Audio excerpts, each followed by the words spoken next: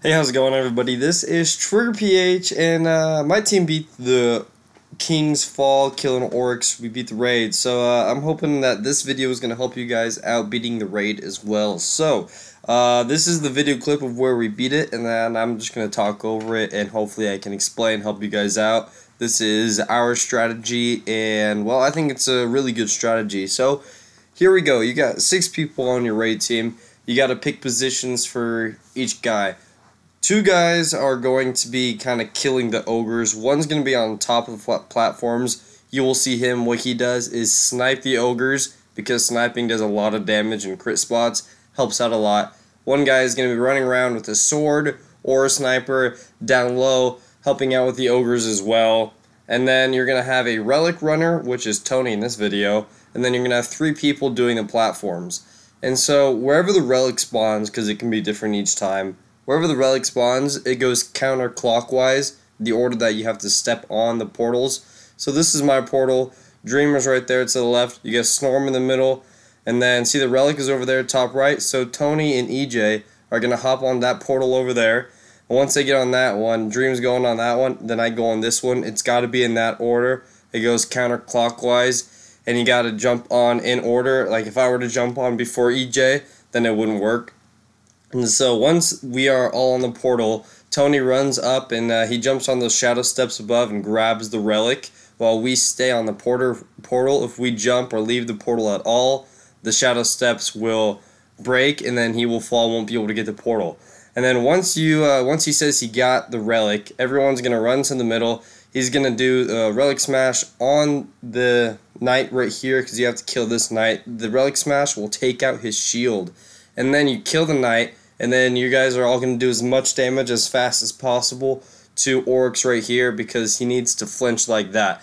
Once he flinches, everyone's going to have their designated spot. There's four different bombs like this. So we have our designated spot no matter what portal we get because sometimes you'll have to switch like I'll show you guys a little later. You're going to run back to that portal. Everyone's going to say when they're there and then at the same time you guys step in there you need all four bombs to detonate. So in the bottom left corner, you're going to see everyone's name pop up.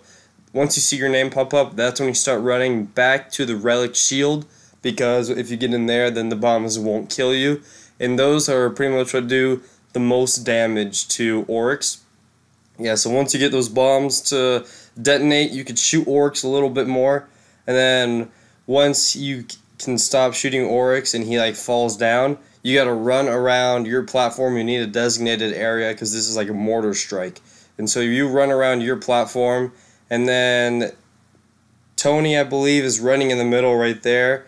Yeah, he was running that middle section right there. Then you have three people on the opposite side of the map. You don't want to cross paths because if you cross paths, then the other person's mortar can kill you. And now we're on round two. So you're pretty much going to do the same thing as before. You see the relic over there. So this is going to be the first stage that jumps on the portal because it's to the left counterclockwise. Once they're on, I hop on, and then EJ is going to hop on on the right, kill the ogres, while Tony, the relic guy, he's going to jump on those shadow steps. He's going to go pick up that relic once again. Once he gets that relic, we're all going to rush middle.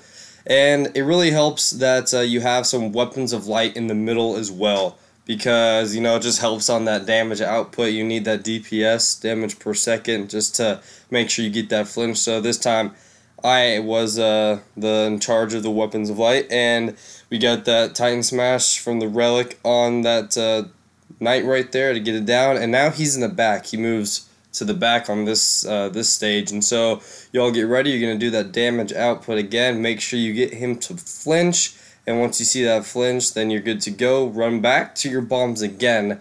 And then everyone's going to be like, all right, I'm ready just because you need this timing. Go in there.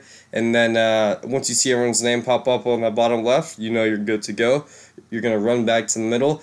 And if you do these two stages correct, get four bombs each time and do half of his health, take away half of his health, instead of getting those mortar strikes again, you're gonna get the Echo of Oryx that you have to kill, and you'll get teleported into like this shadow dimension. You'll see him spawn like the big orb in the middle right over here.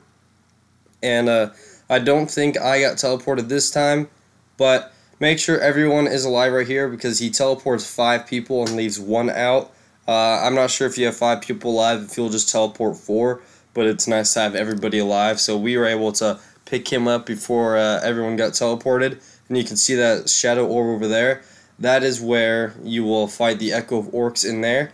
Make sure you kill the Echo in a fast amount of time because they will she will spawn something called like a Dixology and once she does that she pretty much kills you and uh, well you lose and that happened to us uh, once or twice so just make sure you kill the echo fast enough that way that doesn't happen i suggest sniper headshots and uh, use like heavy machine or rockets because those will just do the most damage don't use your super on it because that doesn't do as much damage as a sniper would and so my, i didn't get teleported in but that person outside needs to stay alive if i were to die while they were all inside then that would have ruined everything as well and we would have lost and so they were able to kill the Echo fast enough, and now we are at half health. And so now we do that Echo. No, not the Echo. And now we do that Relic stage again. It's over there, top right, so they hopped over there on that, that left side. And then Dream right next to me, he's going to hop on. Then I hopped on. You kill the Ogres once again. And uh, remember that guy that's sniping up top needs to pretty much help snipe every Ogre. And then the other runner down below needs to help kill all the ogres as well, which is Booty. He's running back and forth helping kill those ogres. And so once uh, Tony got the relic, he tells everybody, I got the relic, and that's when you can hop off your platform and meet middle, get that Weapons of Light. If you guys have it, it really helps. And then uh, tethers also help, and also golden guns with the Celestial Nighthawk deal a lot of damage to Crota uh, Oryx right here. You could slay them. And so once you get that flinch, you run back to your designated bomb and call out that uh, you're here just to get that timing perfect. And uh, yeah, so now on this stage, I think you're going to have to fight the Echo of Oryx again. So make sure you guys are all alive once again. Deal damage right here after those bombs get detonated just to do that little extra damage that can help later on. And so that is the third round of doing the relic and doing the bombs. And so we will see because I think it's going to be the Echo of Oryx once again. So you're going to have to kill the Echo twice. So just make sure, yeah, it is the Echo. Just make sure that you guys have the ammo you need. You have time to pop a uh, special weapon synth or heavy ammo synth right then, right as you kill the bombs because ads will despawn. And so this is what it looks like on the inside.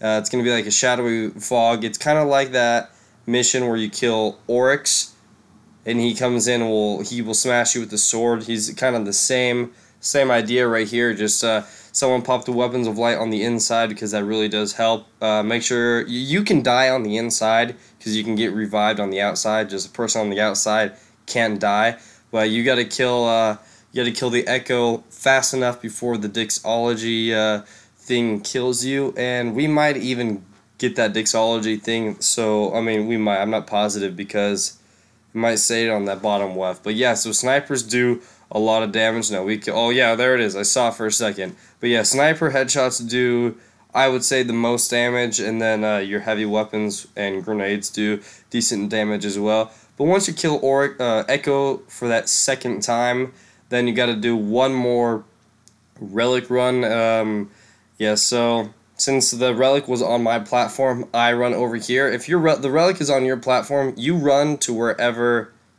there is an open platform because there's always going to be one open platform. So since it was on mine, I ran over to this one.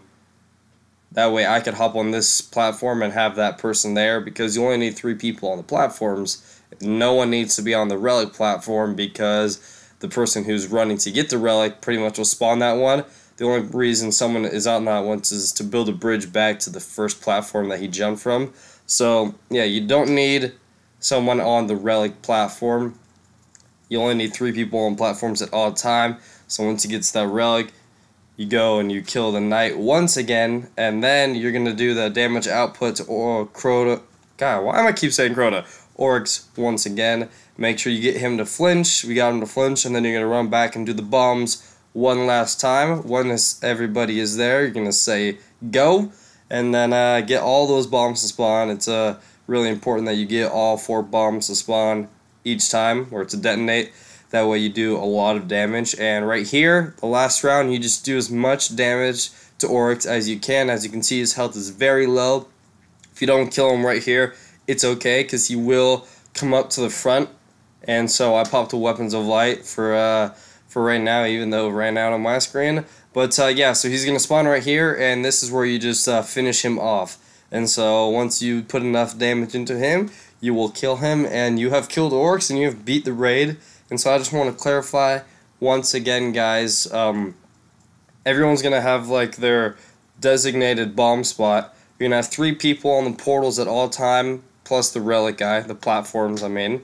And so you're going to have your designated platform, and if the relic is on yours, you're going to run to the platform where usually Tony is going to be jumping from, or your relic guy.